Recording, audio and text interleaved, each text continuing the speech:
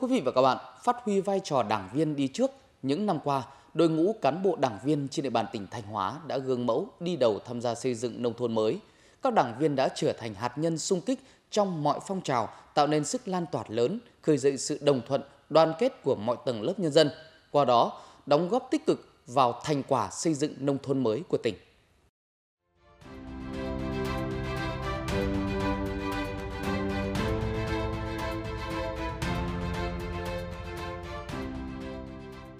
Con đường này trước đây chỉ rộng 4 mét, phương tiện giao thông đi lại khó khăn. Năm 2022, khi xã Thọ Tiến, huyện Trụ Sơn có chủ trương xây dựng nông thôn mới nâng cao, phải mở rộng các tuyến đường, ông Trịnh Văn Hà, đảng viên tri bộ thôn 5 đã sung phong hiến 120 mét đất thổ cư của gia đình. Bên cạnh đó, gia đình ông còn tự bỏ tiền xây dựng lại tường rào, tổng giá trị tương đương 900 triệu đồng.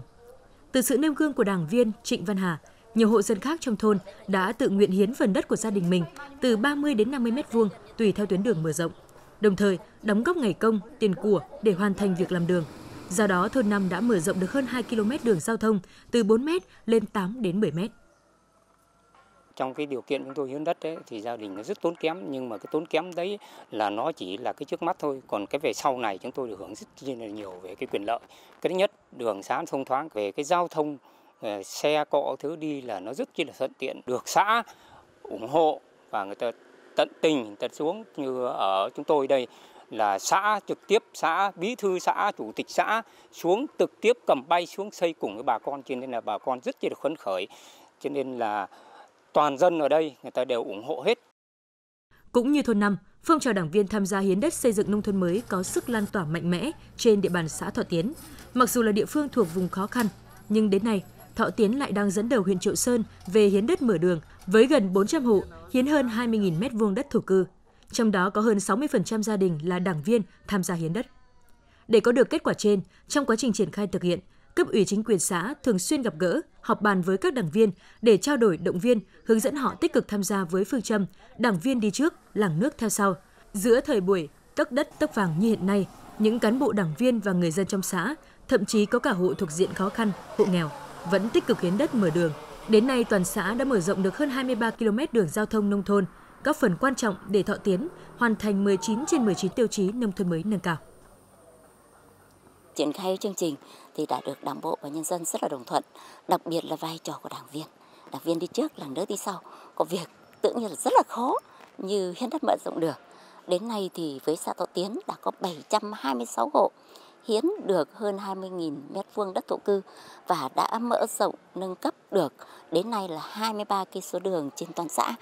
đảm bảo chuẩn và trên chuẩn nông thôn mới nâng cao và tiệm cận đô thị. Với sự đóng góp của người dân rất là lớn, trong đó có những gia đình đảng viên, ngoài hiến đất, hiến công trình, còn kêu gọi bà con nhân dân tổ chức cho cụm dân cư bằng nhiều các hình thức để tham gia. Xây dựng nông thôn mới là nhiệm vụ trọng tâm của cả hệ thống chính trị, là cuộc vận động lớn, toàn diện trên tất cả các lĩnh vực, với mục tiêu nâng cao đời sống vật chất và tinh thần cho người dân.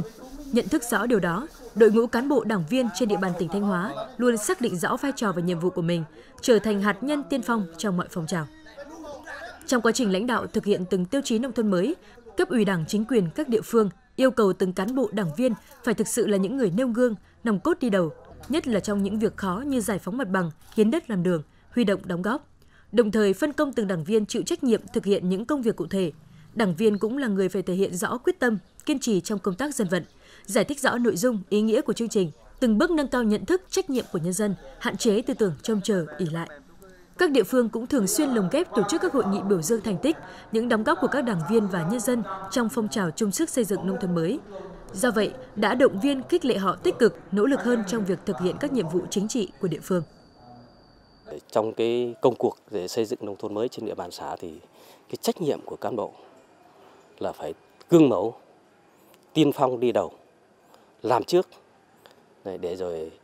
đảng viên và nhân dân người ta noi theo từng cán bộ, từng đảng viên là phải thực hiện nghiêm túc cái việc này. Phải bám sát vào bộ tiêu chí, bám sát vào kế hoạch của Ủy ban nhân dân, của ban chỉ đạo để tổ chức thực hiện. Chính vì thế mà chúng tôi nhận được cái sự đồng thuận rất là cao trong cán bộ, đảng viên và nhân dân. Và cái vai trò của từng cán bộ đã được phát huy lên một cách rất là rõ nét. Là một đảng viên, cũng là bí thư tri bộ thôn, bà Lê Thị Thoa ở xã Xuân Sinh huyện Thọ Xuân, tỉnh Thanh Hóa lại càng ý thức hơn về vai trò trách nhiệm của mình trong xây dựng nông thôn mới. Năm 2023, khi thôn 1 được xã giao nhiệm vụ xây dựng nông thôn mới kiểu mẫu, gia đình bà Thoa đã nêu gương đi đầu, tham gia đóng góp xây dựng nhà văn hóa thôn, làm đường giao thông.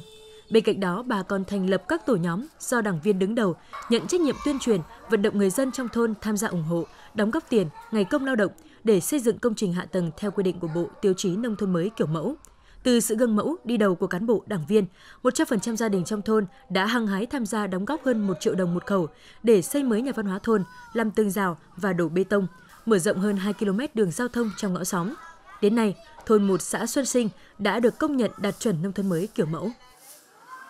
Để mà à, tạo được cái sự đồng thuận ở trong nhân dân để thực hiện tốt được thì trước hết là trong tri bộ cũng à, nhất quán đồng thuận ừ, à, đoàn kết thống nhất là à, đảng viên cán bộ đảng viên tri bộ là người phải gương mẫu trước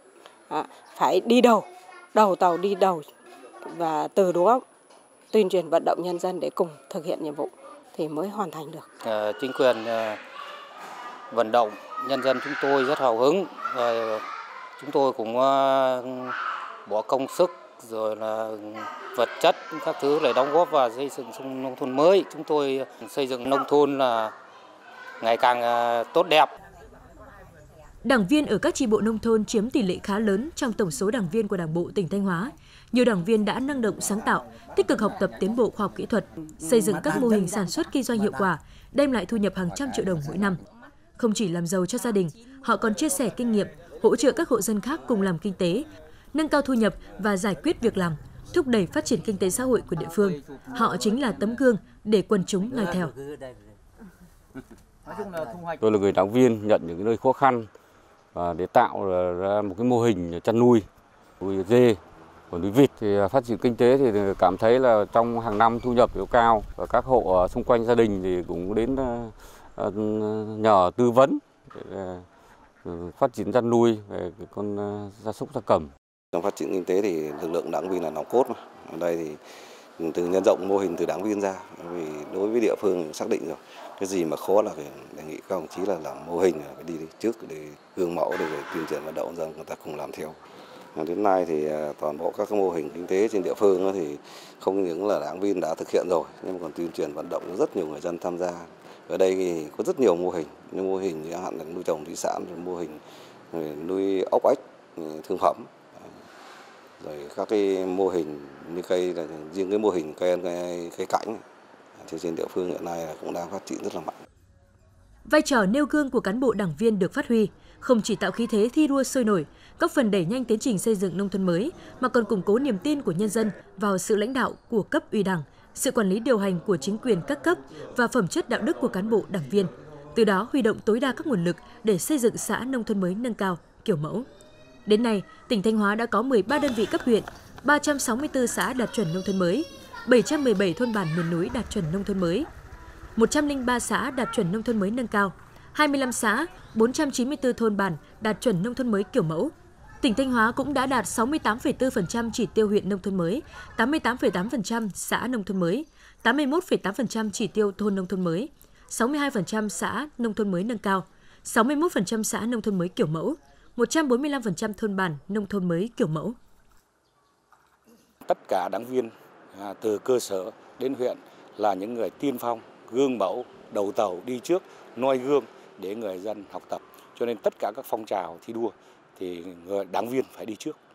và đảng viên phải tuyên truyền vận động người nhà, người thân và nhân dân ủng ủng hộ và làm theo gương của đảng viên. Sau hơn 13 năm triển khai chương trình xây dựng nông thôn mới, diện mạo nông thôn tỉnh Thanh Hóa đã thay đổi vượt bậc. Kết cấu hạ tầng giao thông phát triển đồng bộ, đời sống vật chất và tinh thần của người dân được nâng cao. Kết quả đó có sự đóng góp quan trọng của đội ngũ cán bộ đảng viên với vai trò tiên phong, gương mẫu, góp phần làm lan tỏa sâu rộng các phong trào thi đua yêu nước, xây dựng quê hương ngày càng phát triển. Quý vị và các bạn vừa theo dõi chuyên mục Đảng trong cuộc sống. Xin kính chào tạm biệt và hẹn gặp lại.